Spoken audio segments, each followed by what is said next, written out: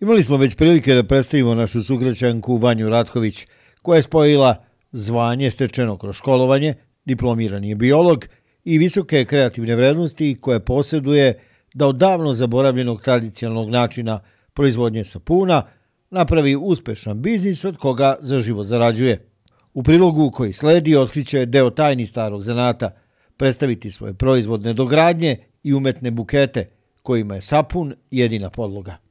Ovo je soda, natrium hidroksid, koji sada dodajemo u ovu aloju i on je odgovoran u stvari za proces saponifikacije, pretvaranja ulja u sapun. Da ovoga nema, mi ne bismo mogli teoretski dobiti sapun. To je jedna hemijska reakcija koja se u prirodnim sapunima odvija čak četiri nedelje posle. Ja ovaj sapun sad napravim, izlijam ga u kalup, u kalup i on stoji u kalupu 24 sata. Nakon 24 sata mi ga stavljamo tamo na policu na sušenje. Prepor, pre, moja preporuka je zbog znači efekta na kožu, kakav, eh, kakav ulje imaju, koristiti maslinovo i kokosovo ulje. Mnogi u izradi svojih sapuna koriste i palmino, ali ovaj, to je samo neka jeftinija varijanta dobijanja sapuna, ali mnogo bolji efekat na kožu imaju maslina i kokos. Uh, eh, koristim organsko maslinovo ulje, znači ekstra verđine, kao i kokosovo. Sada kada smo sjedinili ulja, postepeno ćemo dodati lužinu koja će nam ova ulja pretvoriti u sapun. I mutimo sapun dok ne dobijemo konzistenciju onako kao pudin.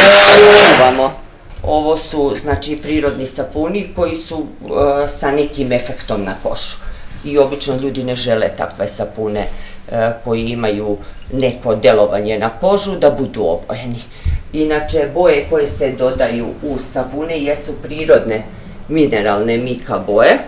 To su boje koje su dobijene iz mineralnih stena i potpuno su prirodne, koriste se u kozmetici za ruževe, senke, pudere, za rumenila i tako, i znači one su bezbedne.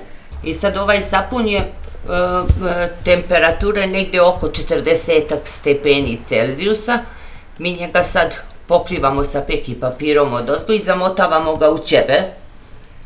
Jer što duže on zadrži tu njegovu temperaturu, on bolje radi.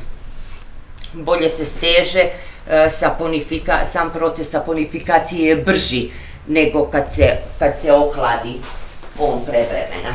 E, treba mu četiri nedelje da može da se koristi. Da bi e, taj natrium hidroksid preradio sve, da bi se on dobro osušio, da bi sva ova e, voda i to izašlo iz njega da bi on i da bi imao dobru penušavost.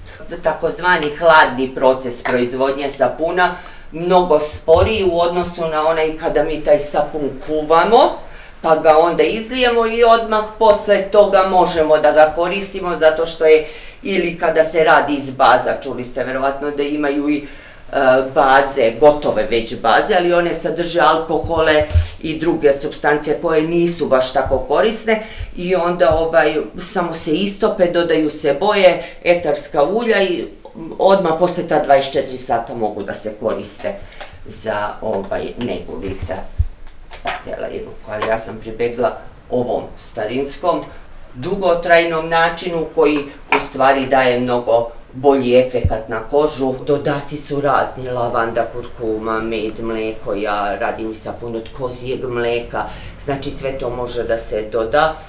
Uglavnom u principu e, soda e, koja dovodi do saponifikacije e, se radi, razvlažuje sa vodom ja u proizvodnji koristim na primjer aloju, kao što ste videli kada radim e, kozije mleko, koristim kozije mleko u koje dodajem i pravim tu lužinu, džumbir, pomoranđu, med, sok cedim iz džumbira, iz pomoranđa i meda. I to mi bude baza u kojoj ja pravim ovaj, e, lužinu za e, proces saponifikacije. Znači, u suštini sve što požele, to mogu da, ovaj, da iskoriste u proizvodnji sapuna. Zašto je šta dobro? Kurkuma je veoma dobar antibaktericid, mikocid, e, znači e, veoma dobra za otklanjanje pigmentnih fleka, e, za e, eliminaciju bora i sprečavanje nastanka novih. Lavanda je nešto što nas uvodi u miran san i što nam ovaj, umiruje nas uopšte. Latice ruže koje nas posjećaju na neki luksuz. E, zatim med, mleko za savršen ten, znači savršena nekako, neko ko već ima lepu kožu, samo da je tako lepom održava. E, dalje, džumbir pomoranđa, ja džumbir pomoranđu i med koristim, uh, Eh, odnosno pravim sapun protiv eh, bubuljica i akni. Eh, izuzetno dobar sapun za pubertetsko doba, gde deci džumbir baš dezinfikuje fino kožu, prodire u dubinu ovaj, korena e, bubuljice i tu je saseca i sanira kožu. Zatim kantarionovo ulje isto koristim u proizvodnji sapuna protiv ožiljaka, za negu kože.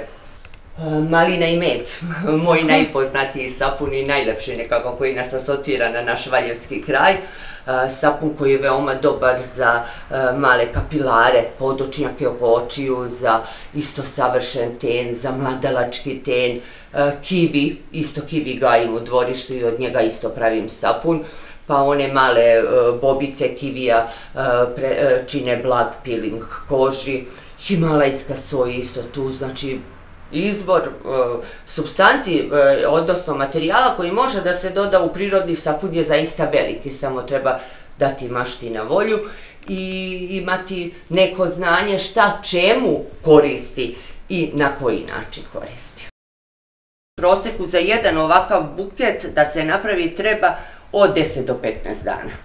E, znači, i dok se on osuši, znači u proseku mjesec dana za ovaj pripremu ovakvog buketa.